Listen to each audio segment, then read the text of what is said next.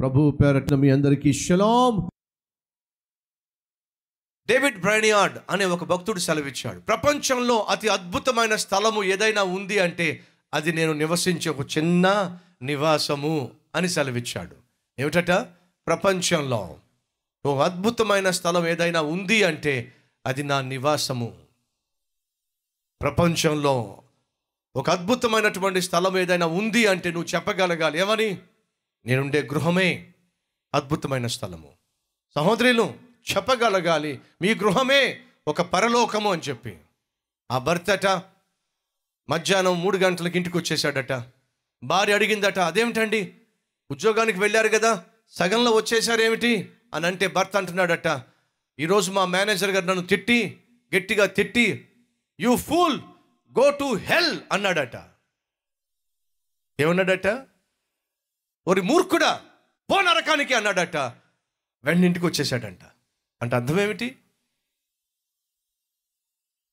ఈరోజు ఎంతమంది గృహాన్ని నరకంగా మార్చుకోవటల్లా దేవుని సన్నిధితో నింపుకోవలసిన గృహాన్ని దేవుని ప్రేమతోనూ ఆప్యాయతతోనూ అనురాగముతోనూ దేవుడిచ్చిన ఆశీర్వాదాలు అనుభవిస్తూ తృప్తి కలిగి జీవిస్తూ దేవుని మహిమపరచవలసిన గృహాలు ఈరోజు ఎంతమంది నరకంగా మార్చేసుకుంటున్నారో ఒకసారి ఆలోచించండి. అడుగుతున్నాను నీ గృహాన్ని దేవుడు దర్శించేటటువంటి స్థితిలోనే ఉన్ ఉంచుకుంటున్నావా? ఆ రోజు దేవుడు అబ్రహాం గృహాన్ని దర్శించాడు.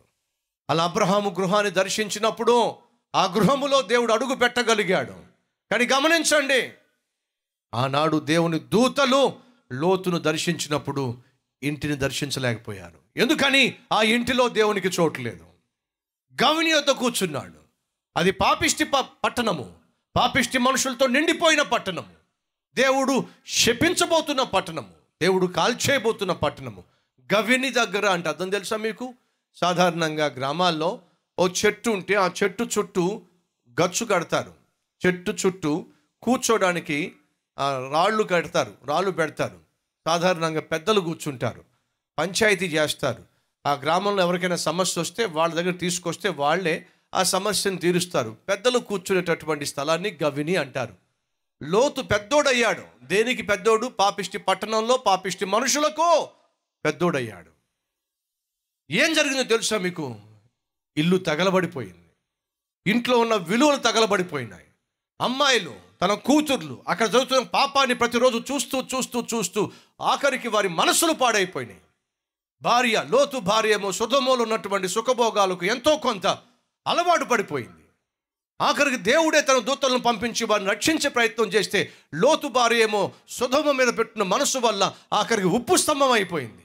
కుమార్తెలేమో అక్కడ జరుగుతున్న పాపాన్ని చూసి వారికి ఆ పాపిష తలంపుల వల్ల ఆఖరికి తండ్రితోనే పాపం చేసి శాపాన్ని తెచ్చుకున్నారు. గమనిస్తున్నారా?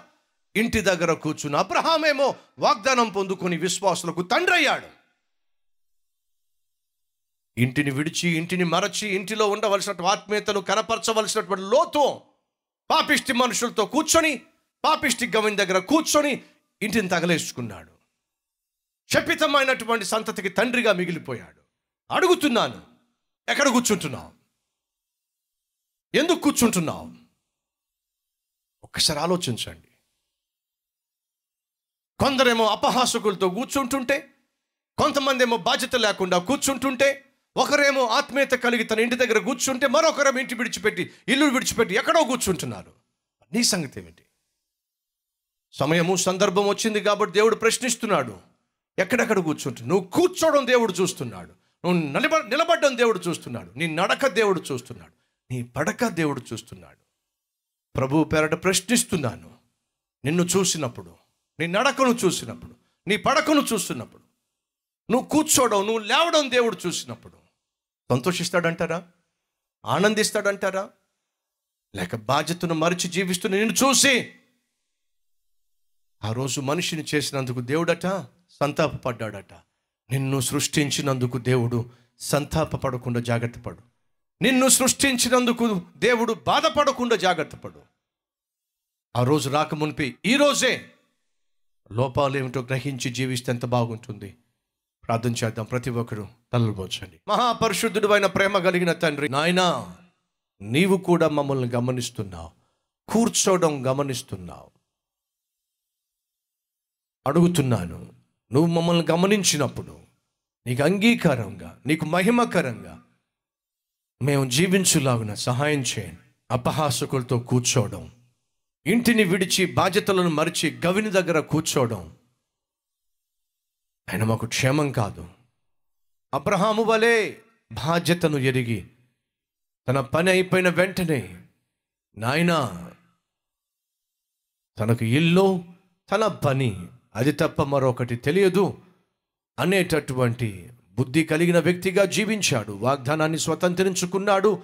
వాగ్దాన పుత్రునికి తండ్రి అయ్యాడు. విశ్వాసులకు తండ్రి అయ్యాడు. నాయనా ఇటువంటి క్రమశిక్షణ కలిగిన జీవితం మాకు దయచేయండి.